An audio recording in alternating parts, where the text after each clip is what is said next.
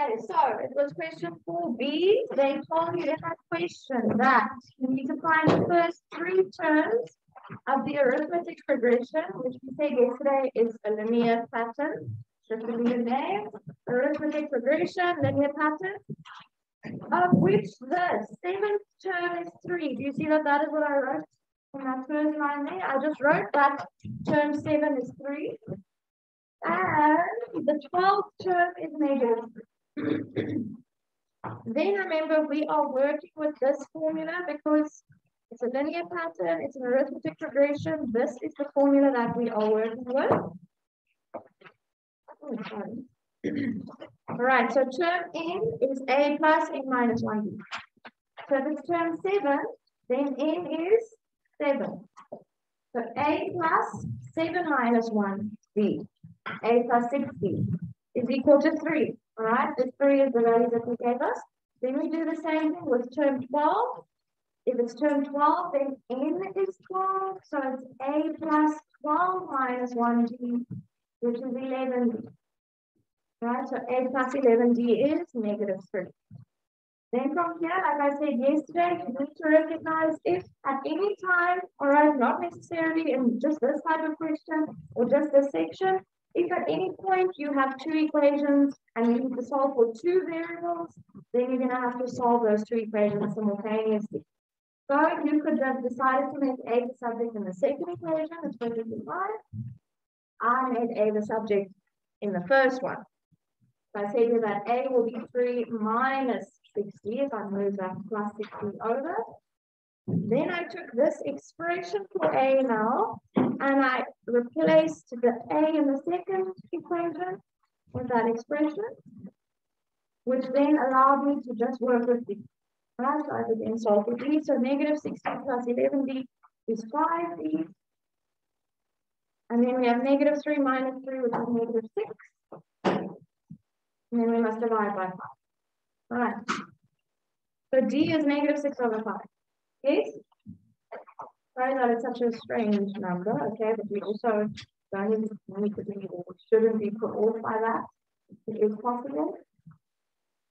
Then we found our D value. Sorry, I'm not sure why it's doing that all the time. Then we can use that value of D and we can substitute it back into our almost like formula for A which will allow us to solve for A. So we have 3 minus 6 times d, which is negative 6 over 5. That gives us a value of 51 over 5. So now we have A and D. Remember, A is the first term, right? So if they're asking us for the first three terms, we've already found the first one. A is 51 over 5. And then from there, we need to minus 6 over 5. We need to subtract 6 over 5 to get term 2. We need to subtract 6 over 5 again to get term 3. Right? Any questions there? Now guys, if you are seeing that you're getting these answers and you're right, right, I just want to double check. They did give you the value of term 7, right? So you can actually keep minusing 6 over 5 and see if you actually end up with 3 as your seventh term. Okay, that would be a way to check. If you want to go even further, you can go to term 12 and see if you're also getting negative 3 right? But that is something that you can do. You don't have to, just, yeah, if you're getting an answer that looks kind of funny like this, you can always. Any questions at this point, guys? All right, we are going to do one more kind of application example of this a plus n minus 1 formula. So yeah, yesterday we wrote application examples and then we said number one. So I suppose we can now just say application example two, I suppose, that would be fine.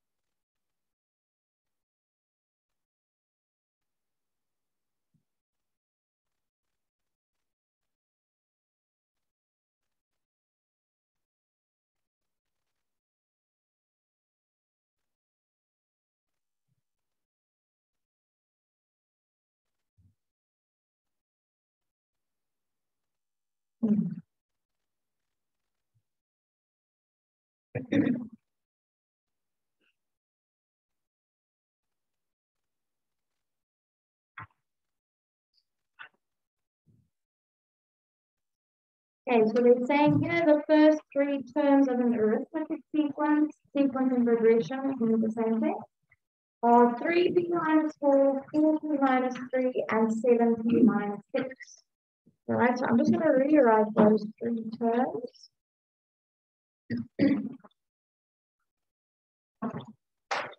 And now they are asking in this first question, they're asking us to actually calculate the value of p.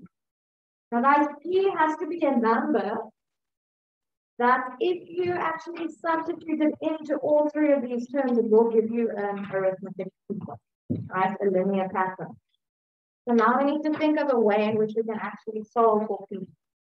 Now, what do we know? What is the defining thing that makes a number is arithmetic sequence? Constant difference, right? The constant first difference. So guys, that is why they're telling us that it's an arithmetic sequence. Remember last year we also did quadratic patterns. And later on next week, we're going to be doing geometric sequences. All right, so we're not only going to be working with arithmetic sequences. So they won't have to tell you which type it is in a question like this. So they're telling us that it is, an arithmetic sequence so that we know that we can assume that there is a constant first difference, right? Right, how do you actually find the first difference? What calculation do you normally do when you're looking at a number pattern?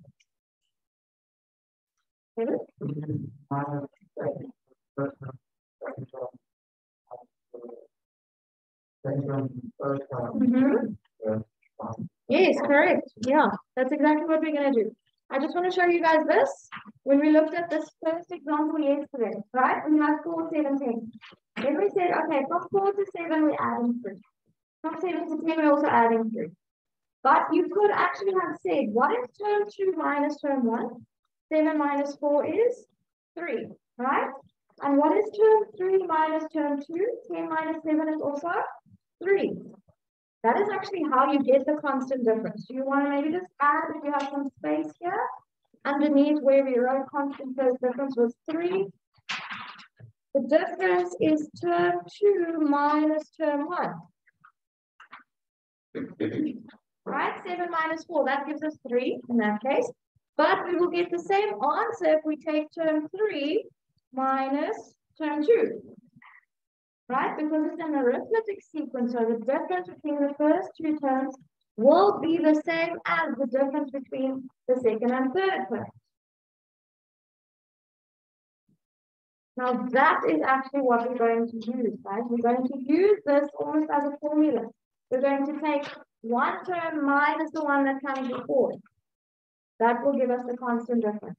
Then, because we'll get the same answer if we take the third term minus the second term, we can put those two equal to each other. Right? Did you all copy this now? Okay. Yeah, I'm just going to add here again constant first difference. And we remember that that is term 2 minus term 1. And that will be equal to term 3 minus term 2. All right, that is actually what we are going to do.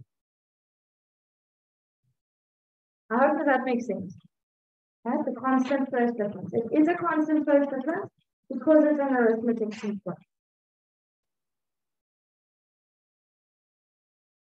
So now we're going to say term 2 minus term 1.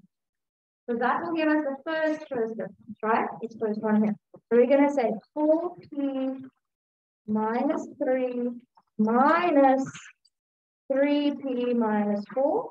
Remember when you are subtracting multiple terms, you have to put those terms in brackets, please.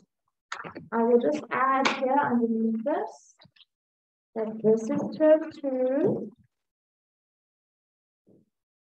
minus term 1. That's what I'm doing here. I'm taking the second term and I'm subtracting the first term from it.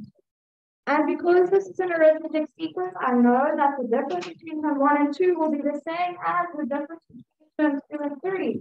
So I'm going to take the third term minus the second term. So 7p minus 6 third term minus the second term, which is 4p minus 3. we can write here underneath equals term 3 minus term 2. Not easy that we actually have an equation in terms of p, we can solve for p in that equation. Do that on your own, please solve for p there. do that calculation. First, you're going to multiply the brackets out, get all the p's on the one side and the numbers on the other.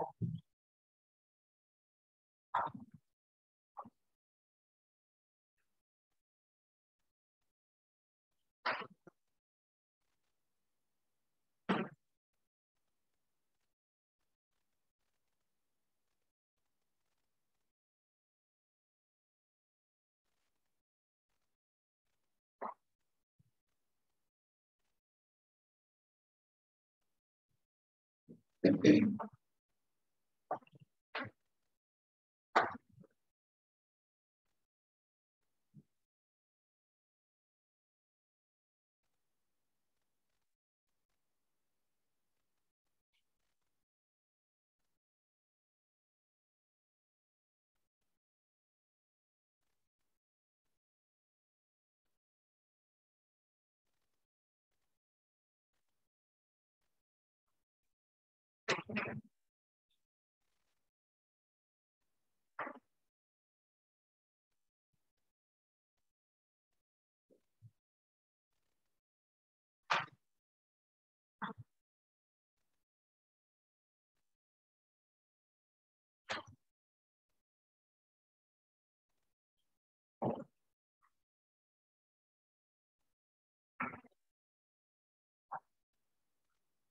do we have an answer?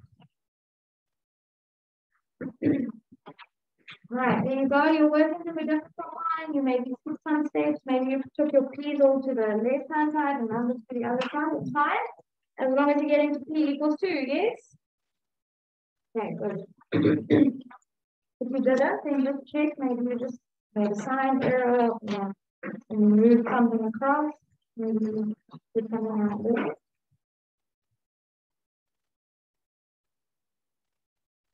And you can write down the next question. Determine the value of the 16 All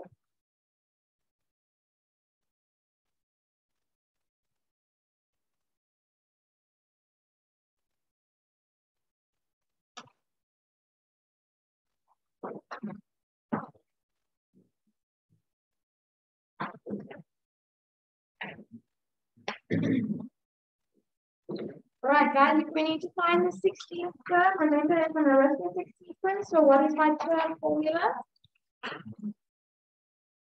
Okay, good. I'm doing the right stuff. Is A plus B minus 1D. So if it's the 16th term, it's term 16. So that can be written as A plus 15D, right? Term 16, then n is 16, so 16 minus 1 is 15. Now, the reason why I've written it like that is because we actually have A and D. A is the first term, yes. Do we have the first term anyway? We have the first term in terms of P, but we have actual value of the first term yet? No. Can we find it? Yes, we calculated the value of P in question A, right? So if term 1 is 3p minus 4, then I can sub in 2 there. What is 3 times 2? 6 minus 4 is 2. So the first term is 2. All right, so our A value is going to be 2. But what do I need in order to find the difference?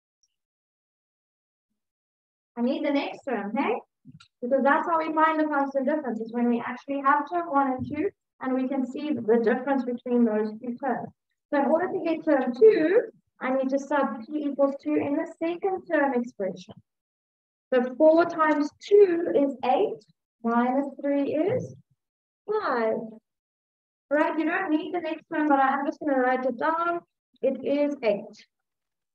Right, those are the first three terms. So now what is that constant difference? Do we see that we are adding 3? Again, guys, you actually only needed the first two terms. Okay, because you could just check what is the difference between term 1 and 2. They told us that it's an arithmetic sequence, meaning that the difference between terms 1 and 2 will be the same as between terms 1. Okay, so you just actually need terms 1 and 2. Now we can substitute those values in. A is 2, the first term is 2, plus 15 times 3. Right, what is 15 times 3? 45 plus 2 is 40.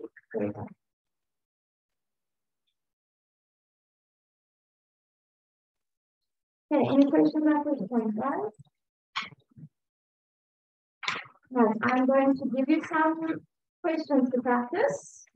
We're not going to do anything else today. We're just going to work for the rest of this lesson. Um, so, did you all get your textbook now? Everyone has a textbook. Perfect. Exercise.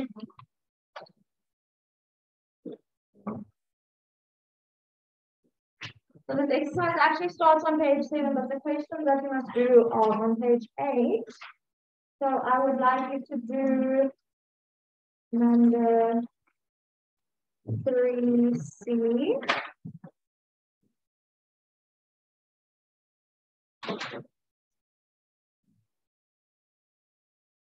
Number four.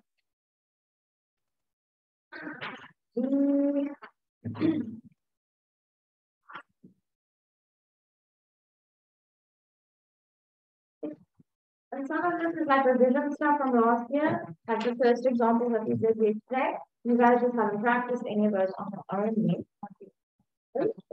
Um, and number nine.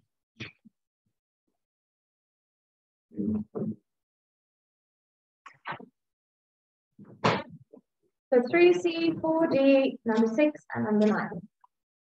And that is from the for tomorrow.